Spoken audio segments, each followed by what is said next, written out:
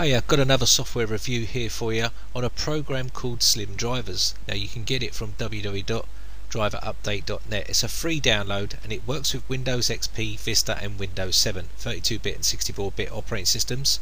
And SlimDrivers allows you to scan for missing or broken or out-of-date drivers. Okay, all you need to do is come to this website and hit this big orange button here and allows you to use it 100% free as you can see there.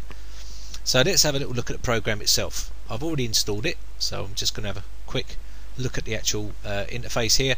And it's a really nice GUI interface as you can see. Pretty straightforward. And what we're going to do first is come up to uh, the options tab here. And as you can see you can set this up how you like. Uh, check for automatic updates and, and, and so on. Okay also backup. We can automatically select the area where we want to back up our drivers. Okay this is by default going into this location okay and we've also got the restore part which allows us to restore the drivers. Now backup will allow us to back up all the drivers that are installed on our system at this present time. So if we go to have a problem with our system we need to format we can actually use this to actually reinstall the drivers that are on the system. I see this mistake so many times with people. They format it and then they lose their network card driver especially on XP and stuff like that and then they can't uh, get back on the internet to get drivers for what they need to do so this piece of software is really useful. Okay so restoring drivers we would just need to come into this location and also update which will allow us to go into here and it tells us exactly uh, the settings there. Very useful very easy to do. And scheduling really is exactly what it says on the tin. Basically set a schedule up to back up and uh, restore and also download drivers. Now personally I would not use this facility uh, because I think once you've got a stable system you don't need to constantly keep updating drivers uh, on the mouse on the uh, you know certain parts of the system. You don't need that.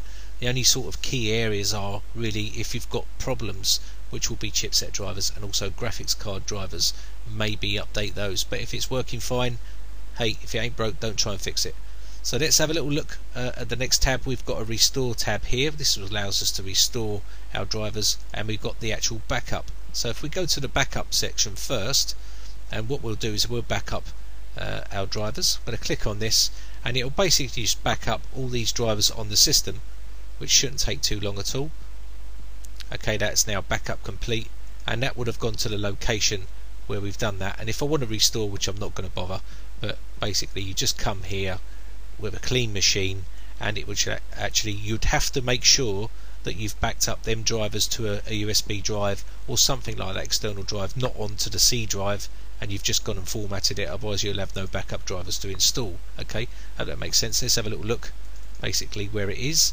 It should be in uh, users uh, application data local or something in this uh, facility here. There we go. And there we have a backup section okay?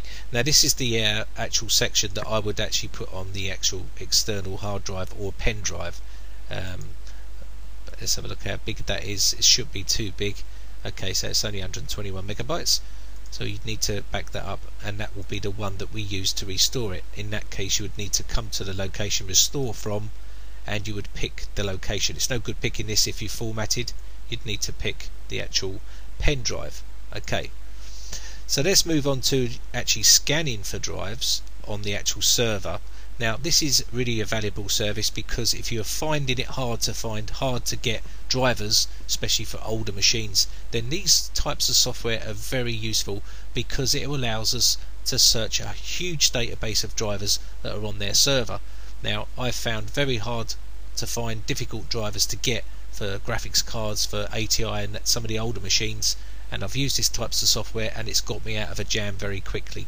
So it's very useful in that respect. As you can see it gives us a list of drivers that we can actually download if we want to. I can put the ticks in ignore if I wish or I can just put a download now and it will up, download it and update the driver okay? So I'm not going to bother doing any of this but that's all you need to do okay? So I hope you enjoy these videos. My name is Brian from britec.co.uk if you enjoy these types of videos, please remember guys, hit that subscribe button, show your support. And also, if you wish to have a, a problem solved of yours, then head over to the forums. The link is down on the bottom of the screen right now.